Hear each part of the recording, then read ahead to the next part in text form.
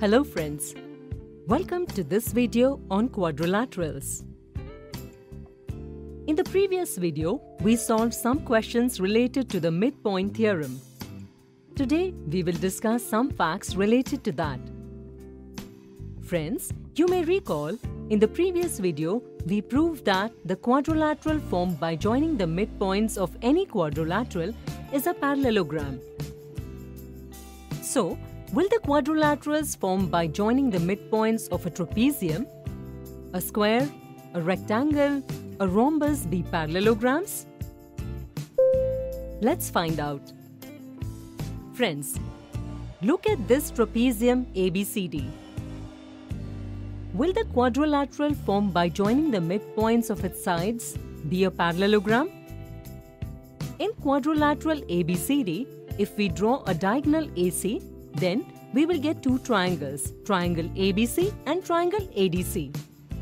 Friends, in triangle ABC, point R and point S are the midpoints of sides AB and BC respectively.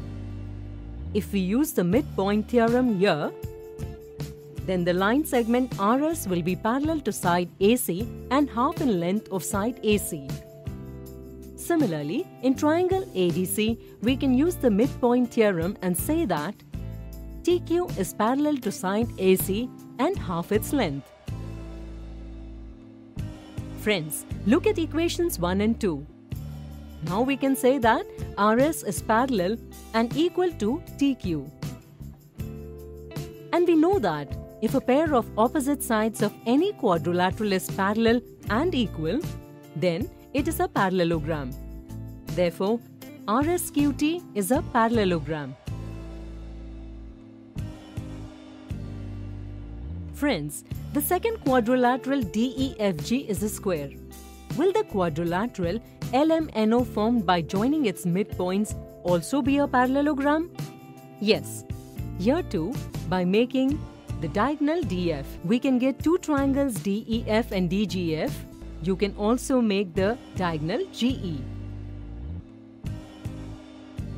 And by using the midpoint theorem in both the triangles, we can say that LM is parallel and equal to ON. Therefore, quadrilateral LMNO will be a parallelogram. Friends, look at this quadrilateral carefully. Will this be a square? Pause the video with the help of a scale and a protractor. Find the measurement of its sides and angles.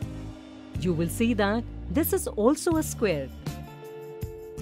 Similarly, try yourself for the rectangle and rhombus and come to a conclusion with the help of your classmates and teachers. Let's look at one more question. In the given figure, quadrilateral ABCD is a parallelogram, in which point E and point F are the midpoints of sides BC and DC respectively. And point G is the midpoint of diagonal AC. Based on the given information, state the options that are correct. Friends, let's check the first option. Look at the triangle ACB in the figure.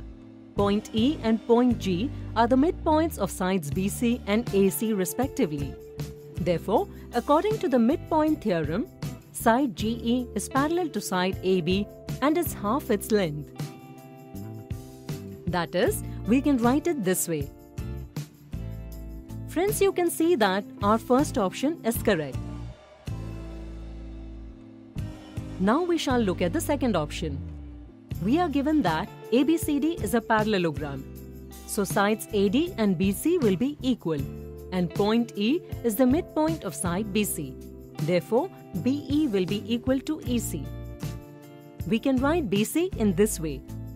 We can substitute EC in place of BE. Friends, you can see that we get AD equal to 2EC. That is, the second option is also correct.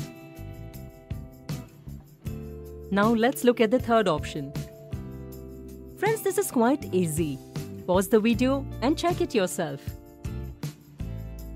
We are given that ABCD is a parallelogram and the opposite sides of a parallelogram are equal. But both these sides are adjacent sides. If these would be equal, then quadrilateral ABCD would have been a rhombus, which is not the case.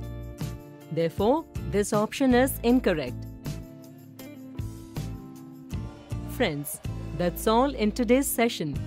Today we discussed some facts related to the midpoint theorem. See you in the next video. Thank you.